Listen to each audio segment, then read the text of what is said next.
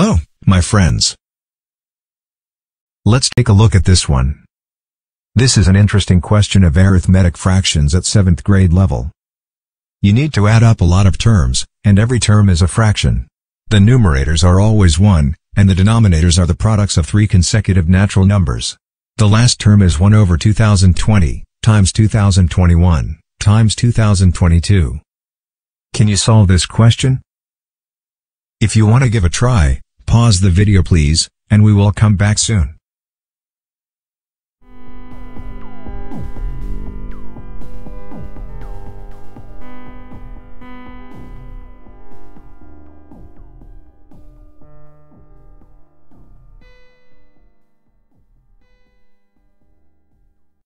I am sure this question recalls your memory of a classical question, where you also add up a lot of fraction terms, but in each term, the denominator is the product of two consecutive natural numbers.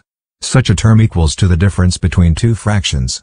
The denominator of each of them is one of the natural number. Such like, 1 over 1 times 2, equals to 1 over 1 minus 1 over 2. And 1 over 2 times 3, equals to 1 over 2 minus 1 over 3. Therefore, such a summation equals to 1 over 1 minus 1 over 2, plus 1 over 2 minus 1 over 3, until 1 over 2021 minus 1 over 2022. From the second and third terms on, every two consecutive terms are opposite numbers. Therefore, only the first and last terms are left, so the result is 2021 over 2022. We will use similar strategy to deal with the current arithmetic. First, Let's take a look at whether each term can be written down in a simpler form, namely, in a form with more additions and subtractions, rather than multiplications and divisions. The first term, 1 over 1 times 2 times 3, equals to 1 over 1 times 2, multiplies 1 third.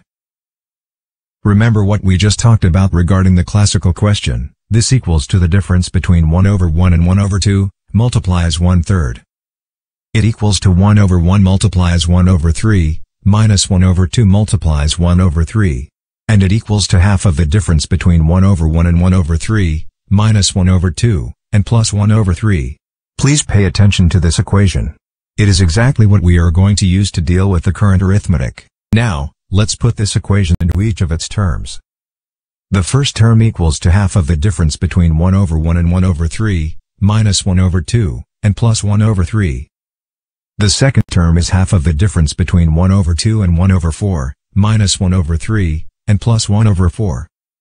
The third term is half of the difference between 1 over 3 and 1 over 5, minus 1 over 4, and plus 1 over 5.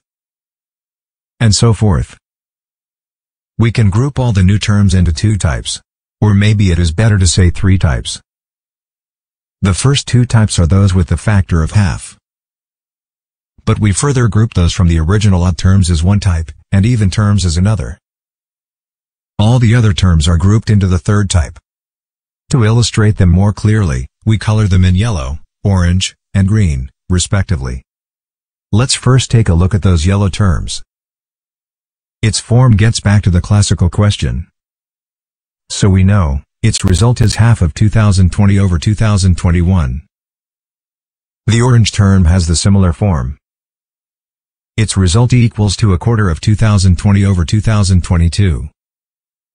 The green terms has the similar form too. Its result equals to minus half of 2020 over 2022. Without too much difficulty, we can obtain the final result as 1 quarter of 2020 times 2023 over 2021 times 2022. So we make it. Cheers! Thank you for watching, and see you next time.